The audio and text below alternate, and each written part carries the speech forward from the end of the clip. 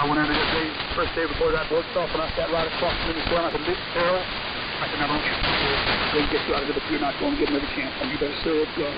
And we're going to ride his back. Ride his back. Going to get him out of here. Better. I'm going to put one back that says Earl. WBCQ, Monticello, Maine, USA.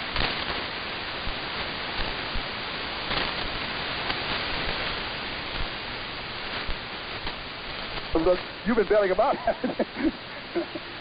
oh, God never answers no. Come on, he answers yes. Is God going to bless his people? Yes. Is God going to take us through this end time? Yes. Is God going to keep us when the world's on fire? Sure, yes. Hallelujah. Somebody say amen. Oh, hallelujah. I just can't hardly wait. I wish you would come to the end tomorrow. I wish you would come tomorrow. Huh? Somebody says, Brother Stair, what are you going to do when the money collapses? Wonderful. You know, I have a book in my library man by the name of George Mueller, probably one of the most powerful men of faith the world's ever seen. He wasn't a preacher. He just had a great love for children. Started taking in little Ursins off the streets in London. It wasn't long that George Mueller had 2,000 orphans in his orphan home. Never one time did he ever ask anybody for one single dime. One of the most remarkable stories is told about him one day.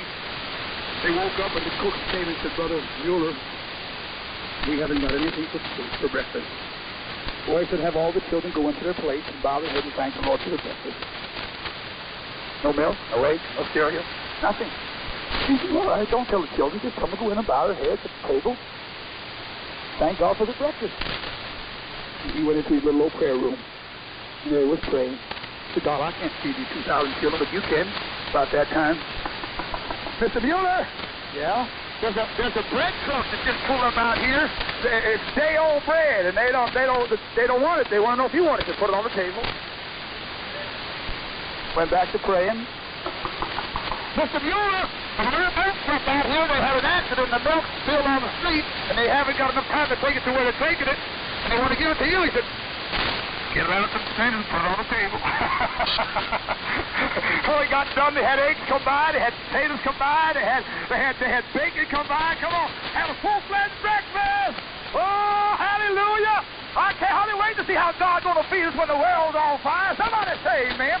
Somebody said, brother, say you're storing up food. Yes, I am. When I'm down to my last jar of carrots, you watch the Lord give me a full meal.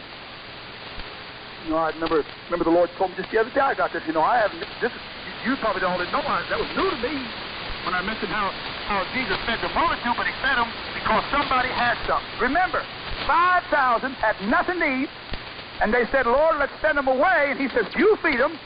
And and, and then he asked this question: What have you got? Suppose that little boy wouldn't have had the five loaves and two fishes. Just suppose that little boy says, I don't need to take nothing out there. He's a miracle worker. He'll feed me. But somehow that little boy says, and I'm just going to take along these five loaves in case you don't prove. In the meantime, he got converted and said, sure, you can have anything I got, sir.